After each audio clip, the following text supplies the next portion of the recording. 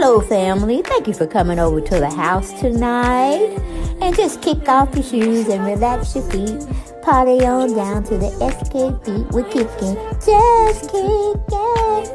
Just kicking. Okay, you don't come to another episode where we're going to be asking the question of why you telling my business? Don't be telling my business. Hmm. Why not? Because a can can and a can can, a can can, a can can, and a wheel. Now we're off to.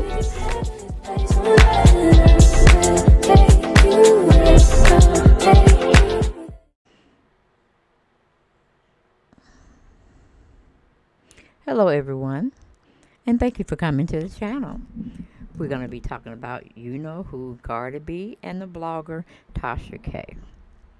Okay, Radar Online had an exclusive interview uh, that they put out, or one of the employees put out, I should say, Ryan Naumann. He has an exclusive story about these two women.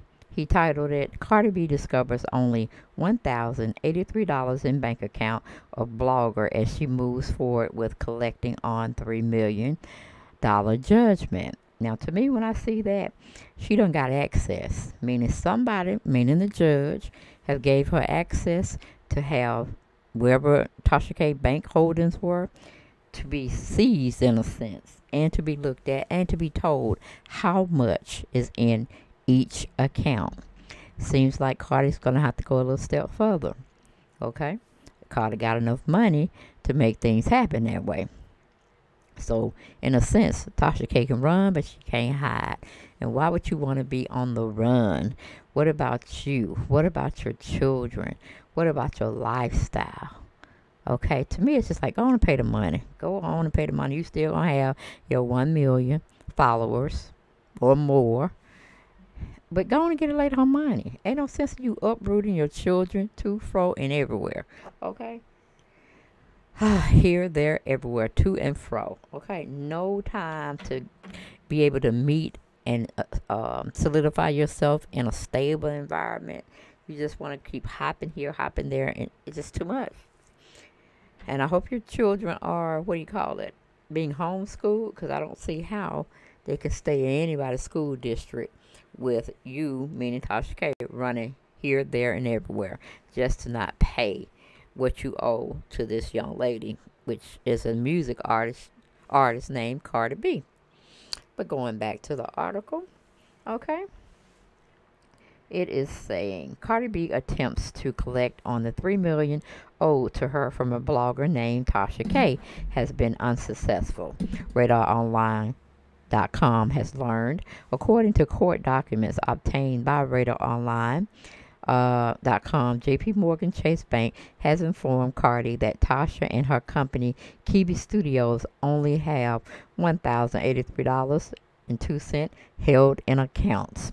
Now, as we for we further found out that Tasha K was in uh, allegedly in Florida. She left there. She went to some part of Africa and she's just been going here, there, and everywhere. Okay, you see what I'm saying? Like a bouncing ball, you just throw it to one person, person throw it to another person, and just keep going with no ending.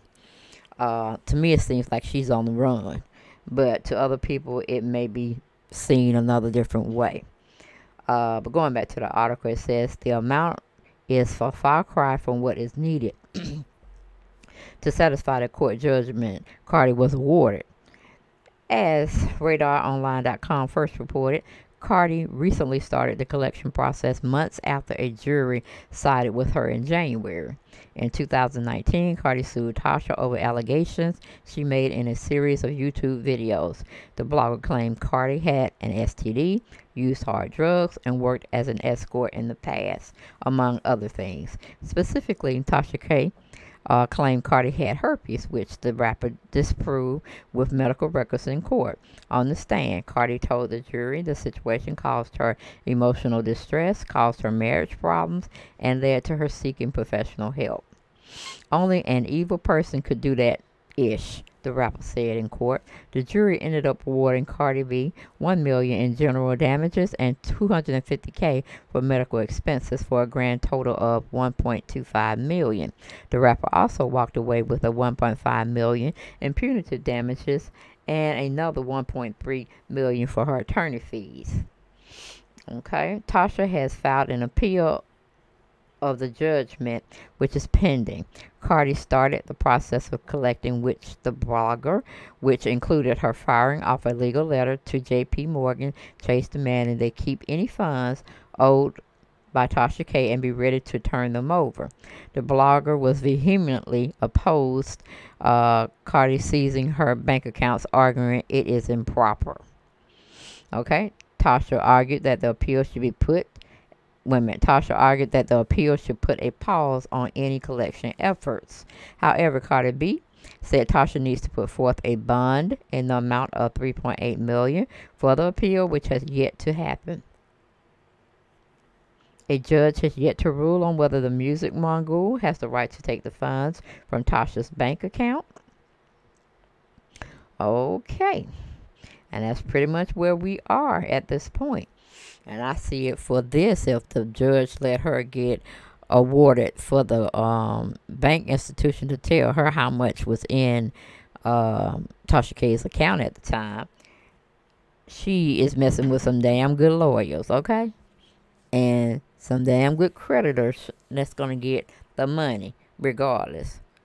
So, to me, Whew, Tasha needs to slow her roll. Go on and pay the woman what she owes her. Because if she's doing real well with her YouTube channel, there's no reason for her not to pay the debt owed.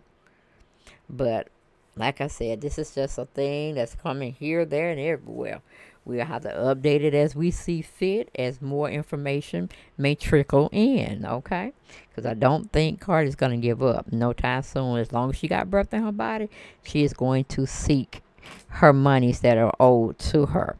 And that's just really how it is. So Tasha K can run, but she can't hide. And with all this traveling she's doing, yeah, may not. you know, it's like a Bonnie and Clyde situation going on. Oh, I'm like, where would the madness just end? But that's all we have for this particular video, guys. If y'all like more, uh, don't hesitate. Sign up for your notifications. When I drop videos, you'll know. Okay? And subscribe to the channel.